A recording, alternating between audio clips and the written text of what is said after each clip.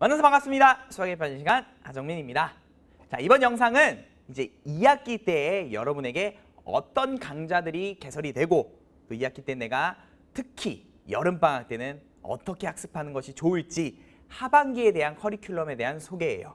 그래서 1학기 때 여러분이 또 잘 공부해 왔으니까 2학기 때도 또 열심히 공부하자는 마음으로 선생님이 어떻게 어떻게 진행되는지 소개해 드리고자 하는 영상이니까 여러분에게 도움이 됐으면 좋겠습니다. 자 그럼 첫 번째로 우리 어, 선생님의 강좌는 어떻게 어, 어떤 강좌들이 있는지 어떻게 개설이 되어 있는지 안내해 드릴게요. 첫 번째로는 대표적인 세 가지 강좌 중에 느낌 있는 선행이라는 강좌가 있어요. 그다음 두 번째로는 매력 있는 개념 완성 강좌가 있고요. 세 번째는 센스 있는 직전 대비라는 강좌가 있어요. 말 그대로 선행 강좌는 선행 강좌예요.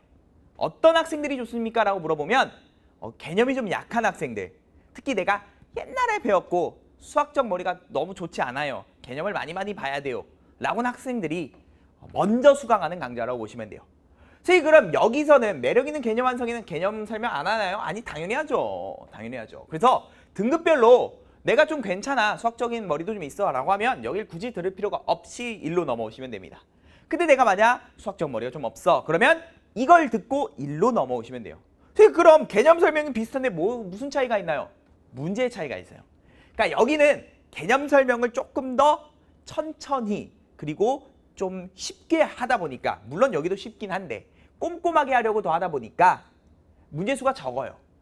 그러니 그런 많은 문제, 문제들을 연습하기 위해서는 이 강좌를 꼭 수강하셔야 돼. 음, 개념을 충분히 닦았어? 그러면 다시 한번 개념 정리를 하면서 다시 상기시키고 아 여러 가지 문제들을 학습하면 되겠구나.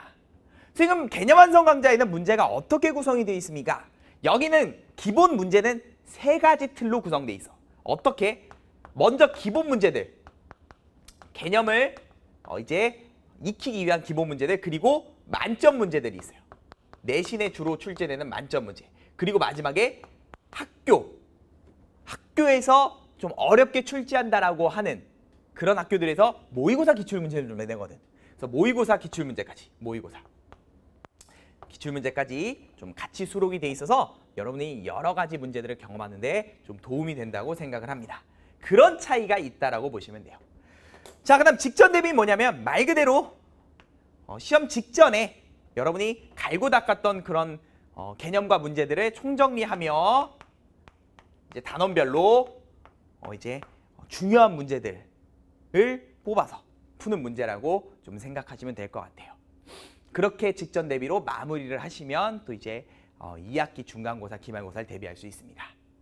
자, 두 번째로는 이제 학년별로 수강할 강좌들이 있습니다. 그걸 소개해 드릴게요. 첫 번째, 고등학교 1학년은 당연히 수학하 강좌가 개강이 되고 이것을 공부하셔야 되겠죠. 2학기 때는 수학하가 주로 메인이 돼서 나오니까.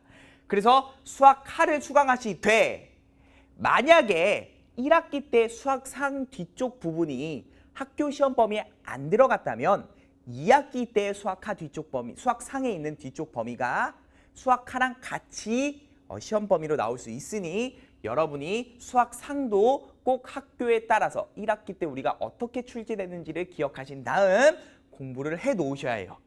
알겠죠? 그렇게 좀 이해하시면 좋을 것 같고 고2 같은 경우는 일단 메인은 수학 2입니다. 1학기 때 수학 1을 배우고 2학기 때 큰 틀로 수학 2를 배우게 되어 있어요. 그 다음 학교별로 뒤쪽에 해당하는 확통, 미적, 기하가 조금 조금씩 다를 겁니다.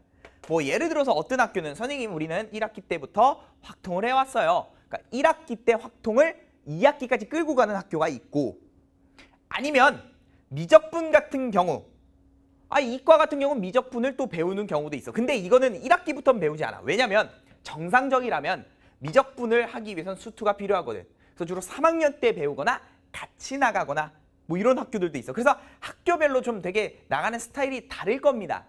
그래서 여러분 학교, 우리 2학기 때는 학교에서 어떻게 배우는지가 이미 나왔을 거예요. 그거에 맞춰서 무엇을 수강할지 선택하시면 돼요. 하지만 메인은 수학 2라는 것, 수학 2도 꼼꼼하게 같이 공부해야 돼요. 그래서 2학기는 아니 2학년은 할 게 많죠, 항상. 그러니까 특히 여름방학 같은 데도 어, 시간을 어, 막 버리고 그러면 안 돼요. 그래서 수학에 좀 집중을 하셔야 되니까 꼭 학교 진도에 맞춰서 여러분이 선택적으로 수강하시면 좋을 것 같아요. 자, 특히 세 번째로 2학기를 준비하는 건 여름방학부터 준비하기 때문에 여름방학 때 어떻게 또 학습하면 좋을지 같이 설명을 좀 드릴게요. 주로 등급이 낮은 학생과 좀 괜찮은 학생이 있을 텐데 등급이 낮은 학생들 같은 경우에는 선생님이 생각하기에는 이 학생들은 반복이 중요해요. 어, 개념도 반복, 문제도 많이 많이 반복하는 게 더 중요해. 그래야지 학생들이 조금 더 받아들이는 데 쉽더라고. 그래서 반복 학습이 중요하니까 여름방학 때는 선행 강좌 위주로 좀 빠르게 개념을 정리해 두세요. 알겠죠? 좀 진도를 좀 빨리 빼세요. 선행 강좌를 하면서 문제를 많이 풀겠다라고 욕심내지 말고 제발.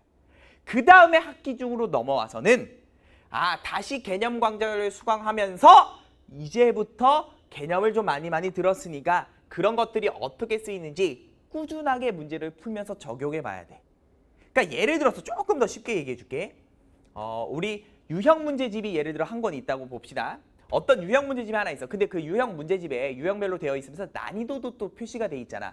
그러니까 문제를 한 번만 풀 생각하지 말고 내가 좀 등급이 낮아. 그럼 여름방학 때 선행 강좌를 수강하면서 유형 문제 중에 난이도 하, 중, 요 정도만 풀겠다라고 생각한 뒤 학기 중으로 오시면 개념 강좌를 수강하면서 아 이런 식으로 문제들이 다양하고 적용되는구나 깨달았으면 내가 갖고 있었던 그 문제집에서 좀 어려운 난이도에 해당하는 것까지 같이 푸는 거지 하난이도 중난이도를 여기서 풀었다면 여기서 중, 하 난이도를 풀었다면 여기서는 여기 풀었던 거 다시 풀어야 돼 안 푼 애들 있어 틀린 것 다시 풀어야 돼 그것과 더불어 틀린 것 다시 푼 것과 더불어 상정도 난이도를 같이 병행하는 거지.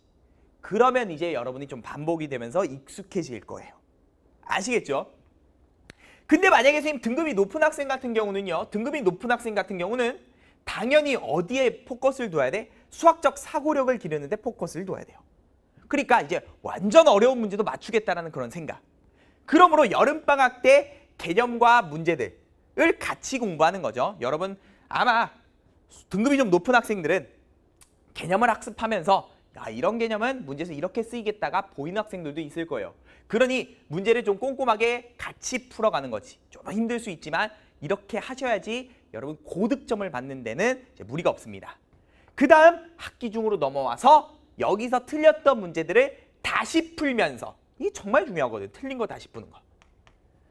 틀린 거 다시 풀면서 조금 더 어려운 문제들 즉 모의고사에 나왔던 어려운 고난도 문제들과 혹은 시중에 나와, 나와 있는 고난도 문제집들 있잖아요. 그런 것들과 같이 병행하면서 수학적 사고력을 쭉쭉 키워나가는 거야. 여름방학 때 뭔가 왕창 하겠다는 생각보다는 체계적으로 학습하는 게 제일 중요해요. 알겠죠? 근데 선생님 나는 이렇게 하는데 좀 시간이 남아요 하면은 요 고난도 문제까지 같이 병행하시면 되죠. 그러니까 여기서부터는 기본적인 틀을 제시해 준 것뿐이고 이제 변형은 여러분이 하시는 거지. 아 나는 여기서 개념을 같이 해도 될 것 같아. 선행 개념을 같이 하던가 아니면 아 나는 고난도 문제를 여름방학 때 같이 해도 될 것 같아. 시간이 좀 남아. 하면 같이 들어가거나 아니면 나는 요 정도를 또 연습한 다음에 학기 중에 그 해당 범위에 맞춰서 고난도 문제를 풀겠어 라고 하면은 이쪽으로 넘어오셔서 같이 하시면 돼요. 그래서 기본적으로 등급이 낮과 낮은 학생들과 높은 학생들에 따라서 대략적인 틀을 좀 제시해 주었으니 여러분 능력에 맞게 여러분이 또 학습을 하셨으면 좋겠습니다. 그래서 2학기 때에도 선생님과 같이 또 열심히 공부해서 여러분이 또 좋은 성적을 받는데 또 도움이 되었으면 좋겠습니다. 자 그러면 이번 영상은 여기까지 촬영하도록 하겠습니다. 수고하셨습니다.